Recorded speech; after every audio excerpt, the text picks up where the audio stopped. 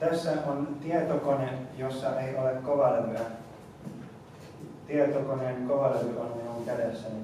The hard drive of this computer is in my hand, uh, but we can still use the computer. Me voimme silti käyttää tietokonetta. Tässä on muistitikku. This is a memory stick. Okei. Okay. Ja voimme It was kind of uh, Se on käynnistyslevy, boot disk, mutta se voi olla myös kokonainen, se voi olla myös kokonainen käyttöjärjestelmä. It can be a whole, fully functional operating system. Minun täytyy ensin vain vaihtaa BIOSista asetus, että se käynnistyy muistitikuilta. Tämä on aika vanha tietokone. This is a rather old computer. Mutta sillä voi hyvin opetella suomen kieltä ja muita tietokoneen perustaitoja. It can still be used quite well in basic Finnish and computer literacy teaching and individual learning. Suomessa on aika suomi.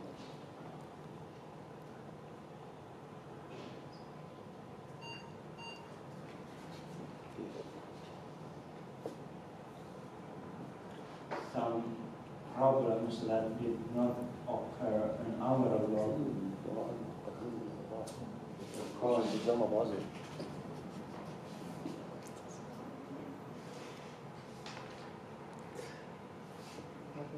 um, maybe you would like to check the Iga hull kahtedi.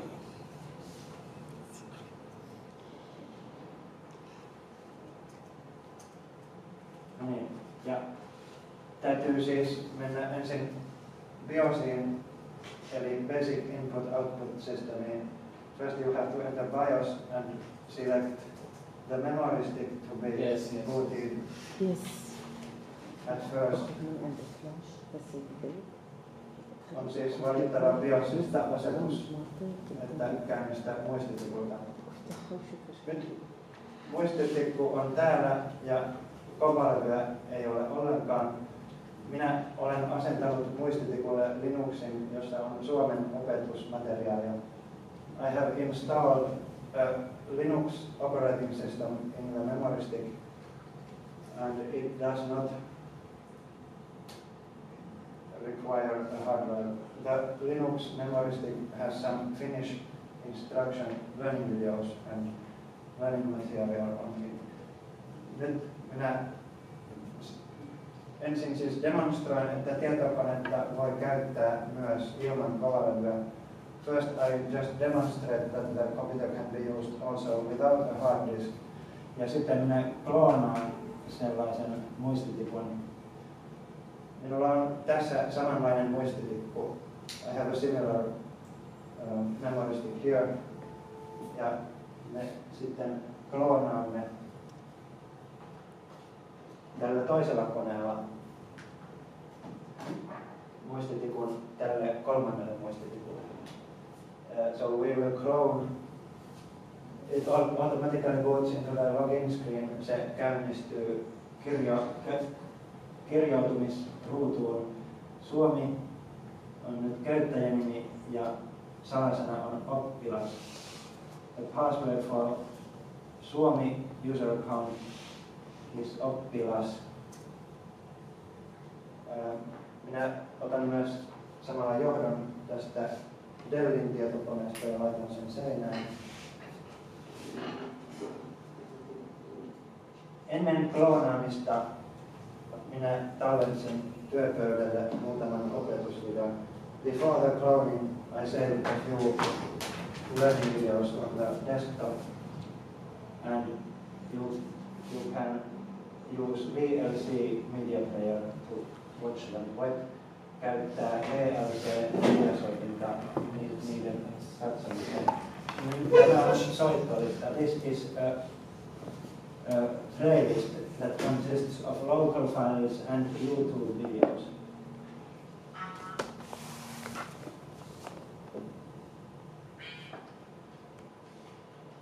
YouTubessa on hauska video aakkosista. Me osaamme jo aakkoset. Minun täytyy vain valita suurennuksesta puolikas. The size of that some videos is incorrect, so I may have to select zoom to half the size. Ja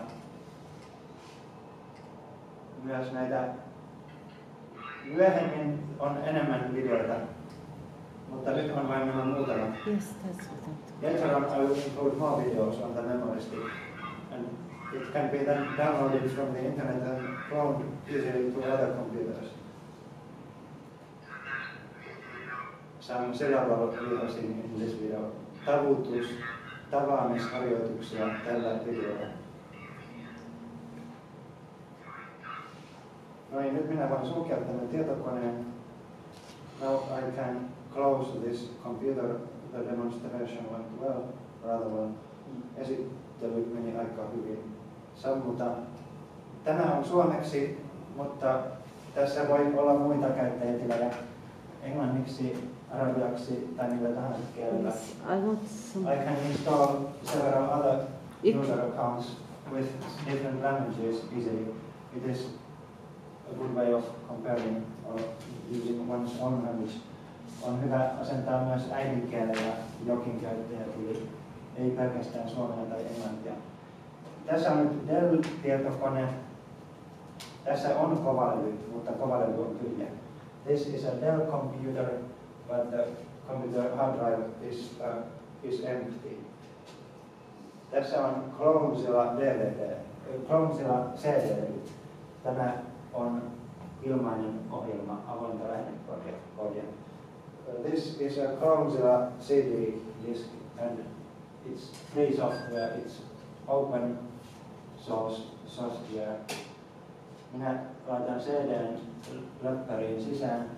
I will put the CD in the laptop ja käynnistän. Käynnistän CD-levyn, siihen tulee, siihen tulee Chromesilla käynnistyskuva. A Chromesilla boot screen will appear.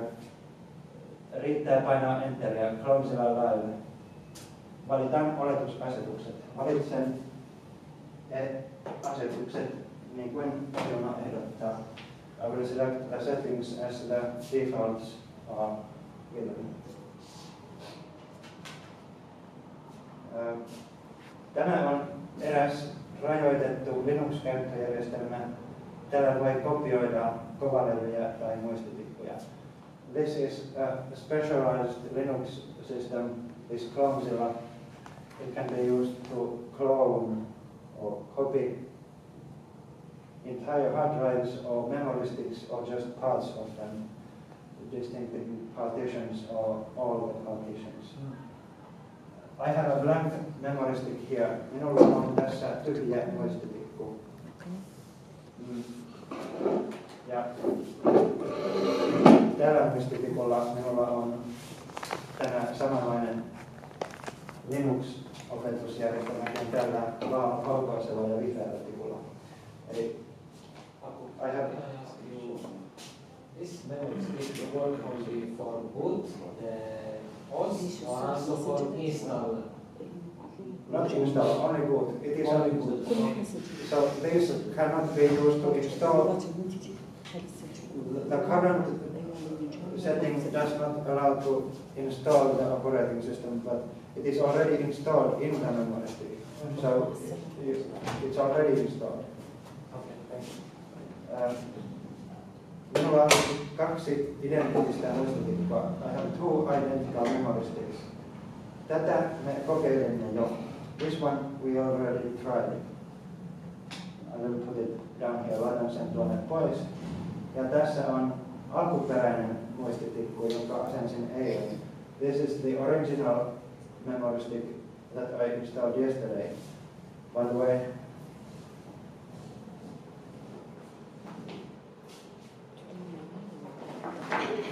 asensin sen muuten täällä miniläppärille Asus EEPC 1000H miniläppärillä ja minilaptop.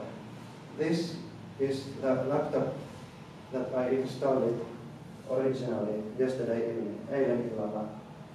Eilen illalla asensin Ubuntu Linuxin tälle muistitikkulle ja tähän koneeseen.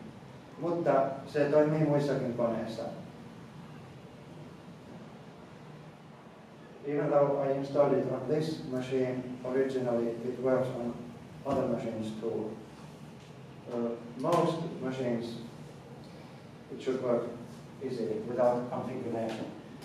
Sen pitäisi toimia helposti kaikissa koneissa, melkein kaikissa koneissa ilman erityisiä asetuksia. Uh, jos esimerkkitilanne olisi sellainen, että tietokone menee rikki, Windows menee rikki tai kovalevy menee rikki. An example, an example situation might be that the hard drive gets broken or the Windows system gets broken. So you just take a memory stick from your pocket and put it in and start doing things quite like in Windows. Voit siis ottaa vain muistitikun taskusta, kytkeä sen sisään koneeseen ja käyttää tietokonetta melkein niin kuin Windowssakin. Mutta lisäksi tämä on vähän turvallisempi tietyllä tavalla. In certain ways this is more secure than uh, Windows-based computers. First it asks of some localization settings. Se kysyy ensin alue- ja kieliasetuksia, mutta niihin ei tarvitse tehdä muutoksia. You don't have to make any changes to those. Now it has an option start Chromezilla. Siinä on vaihtoehto käynnistää Clonezilla. Ja device, image, device, device. Jos lataat internetistä kuvan, tämän tikun valmistelukuvan, niin täytyy valita device image. If you download a disk image from the internet, or then you have to select device image, but now me kopioimme ne suoraan tältä tikulta tänne tikulle, niin me valitsemme device device. Uh, but this time we clone from this stick to this stick directly without an image. Uh, we select device device. Good. Aloittelija tila on hyvä. Disk to local disk. Valitse levy paikalliselle levylle. Eli valitsen vain Enter-nappulaa painamalla disk to local disk. I select by pressing Enter key disk to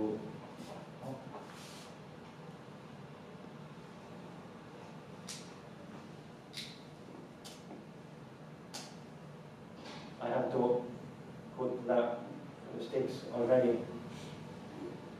Uh, I should have put the sticks already before I started the Chromesla.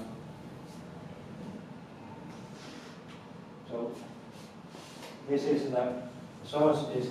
Tämä on lähdetikku, lähdeasema. Ja tämä on kohdetikku, this is the target disk.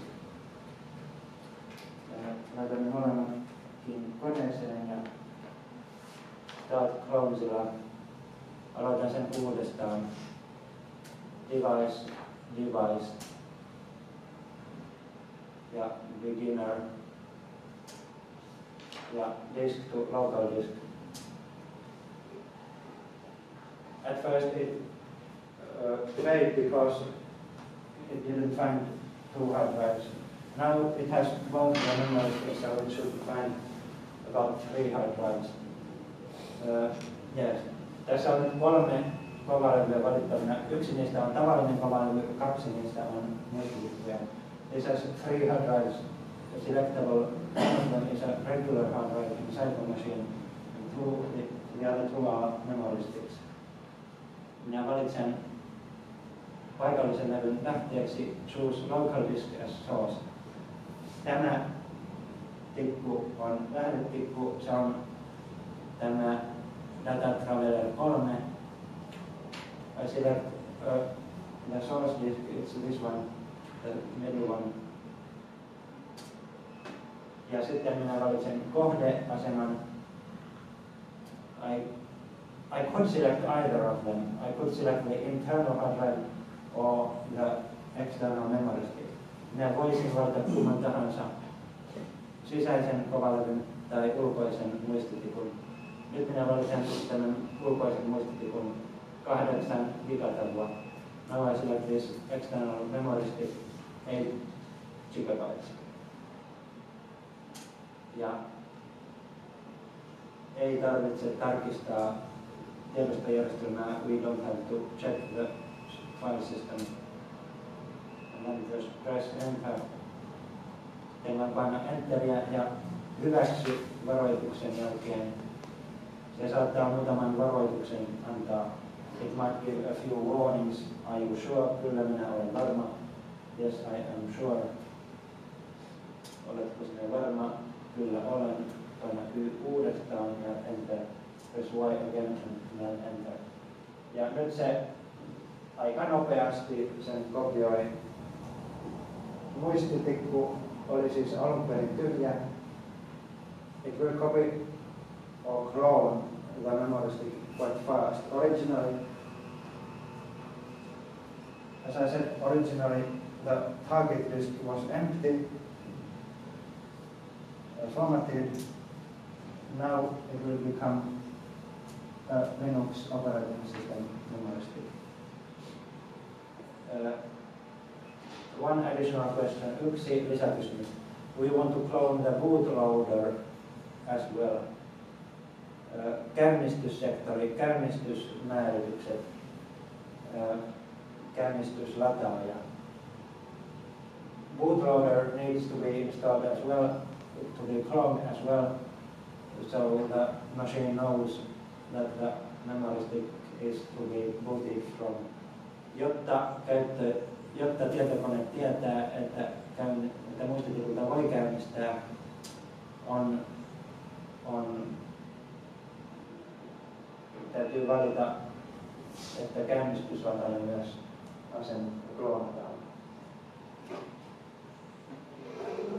It will take about 5 or 10 minutes, kestää noin 5 tai 10 minuuttia. Oikeastaan tämä tikku on sellainen, että siinä on ensin kaksi gigatavua Ö, tavallista Windows-muistitikkua. The first partition of the memory stick is 2 gigabyte for Windows or Linux, either the file system FAT32 tiedostojärjestelmä FAT32. Ja sitten tulee Linuxin virtuaalimuisti noin puoli gigatavua. And then the second partition, the Linux swap space, virtual memory, about half a gigabyte. Ja sitten vasta varsinainen Linux kolmannella osiolla. And then the actual Linux on the third partition uh, in file system X4 tiedostojärjestelmänä X4, niin kuin Linuxilla yleensä on. Neljä minuuttia jäljellä. Me voimme, onko teillä nyt kysymyksiä? Do you have some questions now?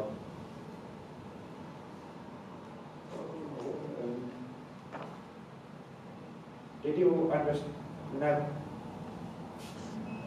Minä varmaan editoimme tämän osan pois. We will probably edit this part away, but my questioning on a YouTube video may not be necessary. Um, sorry? Chronozilla work on Linux only or both Windows and Linux? It can clone both Windows and Linux systems. Clonezilla, I have used Clonezilla to clone Linux uh, and Windows both. Uh, Olen käyttänyt Clonetsilla kloonatakseni sekä Linuxia että Windowsia. On siis mahdollista tehdä esimerkiksi varmuuskopio Windows-tietokoneesta. It is possible to make a backup image of a Windows machine using Clonezilla. In that case, se kopioi kaiken tiedon, mitä kovalevyllä on, myös järjestelmäasetukset. In that case, it would clone, it would clone all the data on the hard drive, including system settings and personal files. Voi siis tehdä varmuuskopion omasta tietokoneestaan ulkoiselle kovalevylle. So it is possible to make a backup image from uh, Windows uh, hard drive to an external hard drive. Me puhumme sitä levykuvaksi. We speak of it as a disk image. Ja sitten jos esimerkiksi kovalevy menee rikki, if the computer hard drive fails, we can get a new hard drive. Voimme hankkia uuden kovalevyn ja palauttaa levykuvan tältä ulkoiselta kovalevyltä and restore the disk images from the external hard drive. So, yeah, se on hyvä keino varmuuskopioida ihan kaikki. This, this is a good way of um, making a full backup of a hard or some other medium media. Nyt on vielä vähän alle kaksi minuuttia jäljellä. Me voimme sitten kokeilla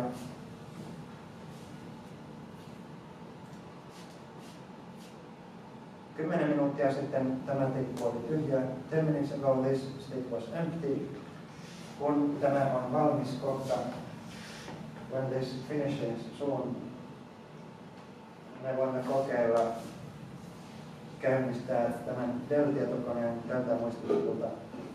We can try and boot the Dell machine from this memory stick ja katsoa toimiiko tämä Linux samalla tavalla kuin tässä Fujitsu Siemens tietokoneessa and see if this Linux system works the same way as it does on this Fujitsu Siemens notebook. Maybe another question. Joo. Uh, does the size of the storage uh, device matter? For Yes. example, if I have 20 gigabyte hard drive and I have 10 gigabyte, uh, maybe 60 gigabyte uh, Mosquito, and I want to clone that 20 gigabyte into 16 giga, uh, 16 gigabyte, does that matter? Or need to be all the same size? They don't need to be the same size, but the target disk needs to be bigger or the same size as the source disk. Kohdetikku, kohdetikun on siis oltava vähintään yhtä iso, at least as big as the source disk, vähintään yhtä iso kuin lähdetikku. On mahdollista kloonata osioittain niin, että se mahtuu myös pienemmälle tikoille, se on vähän hankalampaa. It is also possible to clone partition by partition without cloning all the partitions, ilman että kloonaa kaikkia asioita, mutta se on vähän hankalampaa. It is a bit more difficult. But you can easily install Linux on an 8 GB memory stick voit helposti asentaa Linuxin 8 gigatavun muistitikulle and then clone it to a bigger 16 gigabyte memory stick ja kloonata sen isommalle 16 gigatavun muistitikulle. Niin päin se toimii, mutta toiseen suuntaan ei toimi yhtään helposti kuin tämä. It will require a lot more effort to clone it the other way Kannattaa olla isompi tikku kohteena kuin on lähteenä. It's good to have a bigger disk as target as, uh, as than the source. Kloonaus on valmis, nyt se kloonaa viimeistelee vielä käynnistyssektoria. Cloning is finished, now it finishes up the bootloader. Tästä loppuu aika. Onko se loppu? Kohta. Se riittää. Nyt me voimme valita reboot ja ottaa CD pois ja alkuperäisen tikun pois.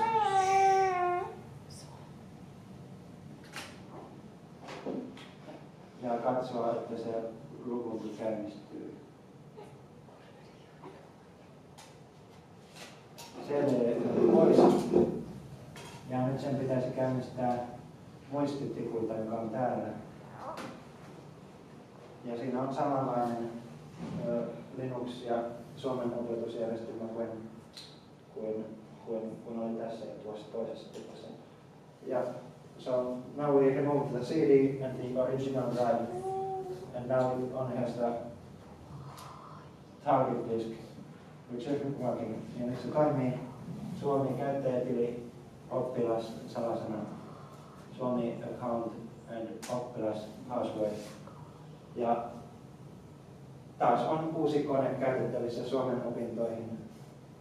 Another machine to be ready to be used for learning Finnish uh, videos and PDFs and other material. This can be used offline or online. Tätä voi käyttää sekä verkkoyhteyden kanssa että ilman verkkoyhteyttä. No niin, kloonausesitelmä onnistui aika hyvin. Kiitoksia.